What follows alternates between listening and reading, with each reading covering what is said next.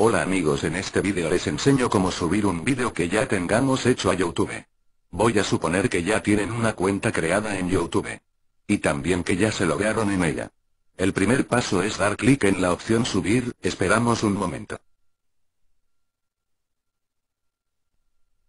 Y nos aparece una pantalla con un botón amarillo que dice subir vídeo. Oprimimos el botón. Y nos aparece un cuadro que nos muestra los archivos del disco duro.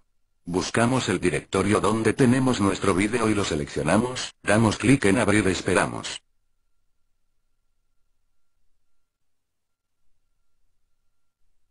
Y nos aparece una barra indicadora del porcentaje de subida del vídeo seleccionado.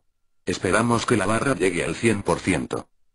Entre tanto podemos ir llenando el formulario que nos pide un título para nuestro vídeo, una descripción, El título puede describir brevemente el contenido del vídeo y en la descripción podemos explicar más ampliamente sobre qué tema tratará nuestro vídeo. En este caso de ejemplo el tema es registrarse en YouTube.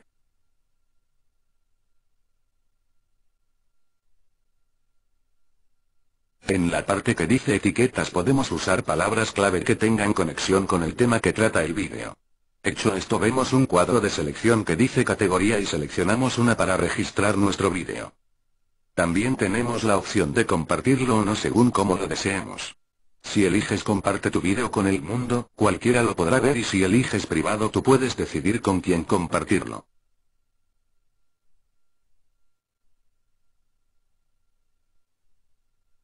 Arriba vemos como poco a poco se va llenando la barra de progreso de su vida pero debemos tener un poco de paciencia, hasta llegar al 100%, aparece un mensaje verde que dice procesando vídeo, y si todo está bien YouTube nos indica que es correcto. En este momento ya solo resta guardar todo oprimiendo para ello el botón que dice guardar cambios y observamos la aparición de un mensaje verde que dice que se ha guardado la configuración del vídeo.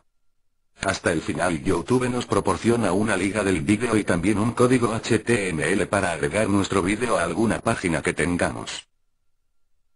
Eso es todo amigos los invito a visitar mi blog donde pueden bajar el vídeo con mayor calidad y encontrar otros tutoriales. Pueden preguntarme si les quedo dudas sobre el tema.